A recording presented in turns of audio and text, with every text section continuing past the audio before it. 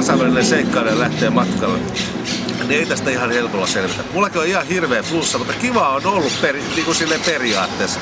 Nyt me ollaan tällaisella pahamaineisella, ää, en nyt muista, Ribera-alueella muistaakseni. Ja tota, tää on täynnä narkkareita ja muuta outoa rupusakkia. Mutta tota, outojahan ollaan mekin.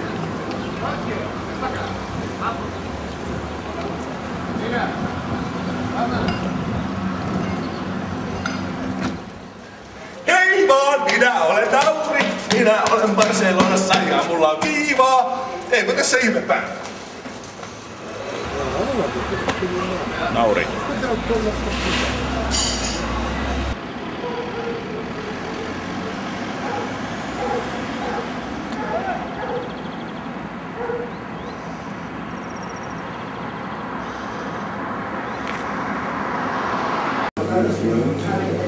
No. Täällä on spagetti con calamares, mutta calamareja näyttää mun mielestä kissan kaka.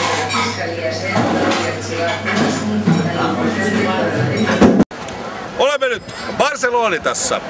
Tässä takana avautuu oivallinen hiekkaranta, satojen metrien pituinen hiekkaranta, joka täyttävät huutavat ulkomaalaiset. Ne ne jaksaa pölöttää ja huutaa koko ajan.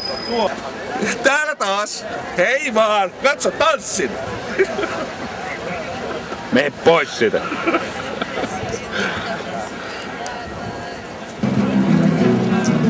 Mitä?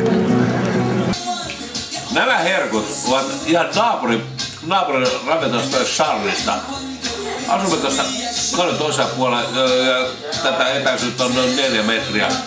Olemme tulleet siihen tulokseen, että tässä ravintolassa saa parhaat Barcelona, esimerkiksi sipulirenkkat, No ja mustekaloja. sitä minä tarkoitin.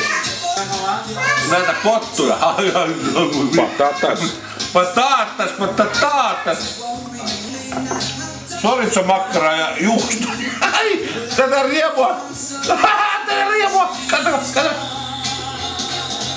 Näin syö kansainvälinen seikkailija.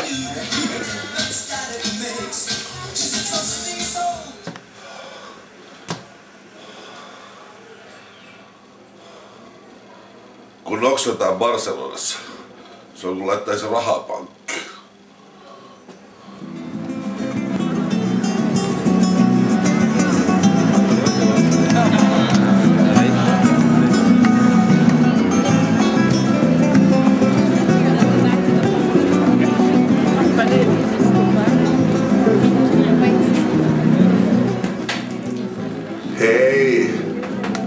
Barcelonassa ja taas kakilla.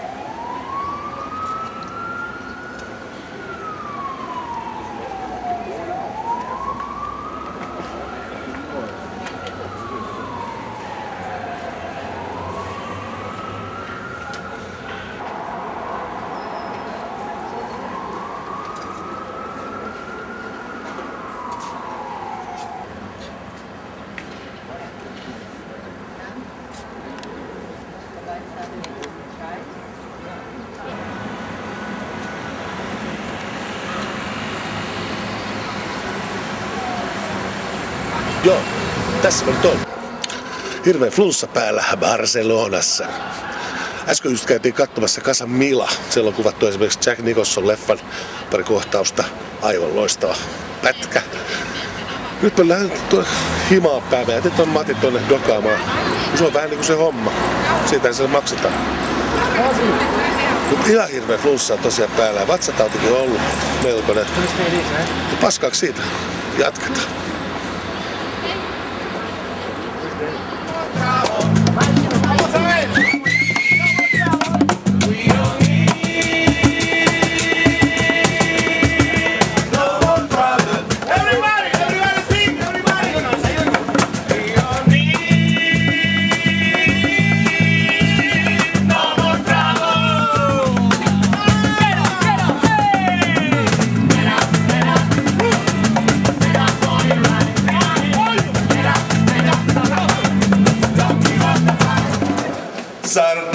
Sardana. Barcelona Sardana. Olen minä semmoinen tanssipetteri. La la la la la.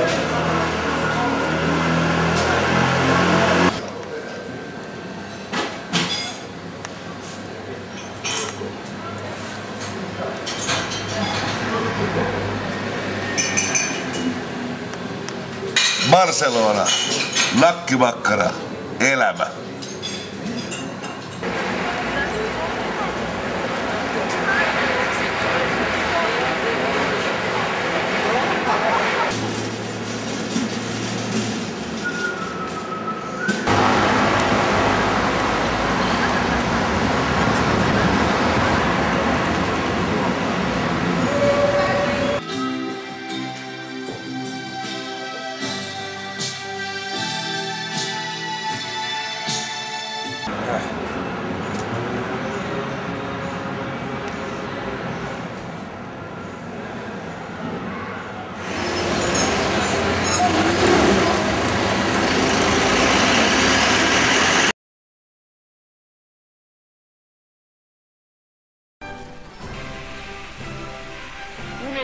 Totalitario armonizará en España el funcionamiento de todas las capacidades y energías del país, en el que dentro de la unidad nacional el trabajo, estimado como el más ineludible de los deberes, será el único exponente de la voluntad popular.